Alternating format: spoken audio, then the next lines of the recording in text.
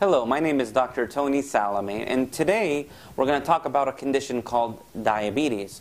And I'm sure that um, you've heard of diabetes, um, you may have it, um, or any member, family member, or friend um, may have diabetes um, that you know. And really, what that is, is a condition where our body is not able to utilize or use up the glucose, the sugar that's in our blood, and, it, and it's not able to uh, bring it into the, drive it into the cell properly. And uh, that's a problem because it leads to fatigue, um, weight gain, um, leads to fatty liver, uh, it leads to predisposes us to cancer, um, and, a, and, a, whole host of other uh, health ailments, as well as neurological complications, Alzheimer's disease. So, uh, diabetes is a very uh, serious condition, and um, that's uh, unfortunately has affected 8.3% of the population that's actually diagnosed with it. And um, about 79 million people are pre-diabetic. So you can imagine that that's a huge, uh, that's a huge number, and uh, it is growing and growing. Before it, was, it used to be called adult onset diabetes. That's the type 2 diabetes that we're talking about today. And uh, right now, uh, we're seeing this early in uh, early in childhood and teenage years. We're seeing we're seeing the spawn of diabetes, and it's just growing, growing.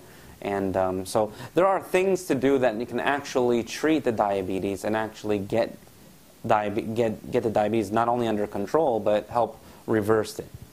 And what we do in our office is we use uh, functional medicine and functional neurology to uh, assess the neurological state of the individual as well as the metabolic uh, state of the individual because a lot of people with diabetes have chronic inflammation and that causes um, that causes uh, exhaustion in the pancreas and leads to um, this problem. You see, the pancreas produces the insulin, and the insulin is what takes the blood glucose or the sugar in the cell and drives it into, from the blood, drives it into the cells. When it doesn't get utilized and it doesn't get uh, uh, used up, then it starts to it stays in the blood, and that's what creates the elevation of blood sugars. So the pancreas. In, in type 2 diabetes or even pre-diabetes, there's a state of called insulin resistance. This is where the body is not responding well to the insulin. It's not able to drive in the nutrients and, and the blood glucose into the cells.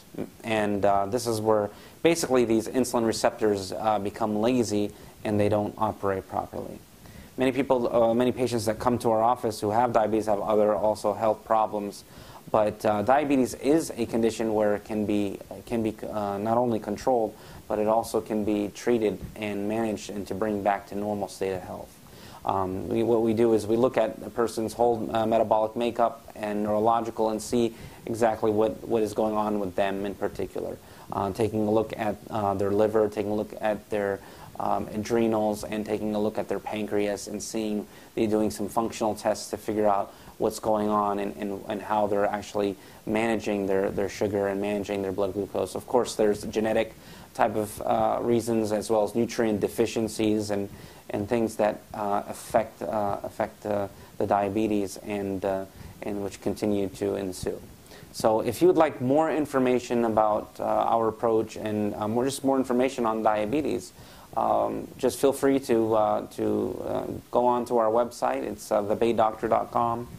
And also, uh, you can call our office at 850-785-9372.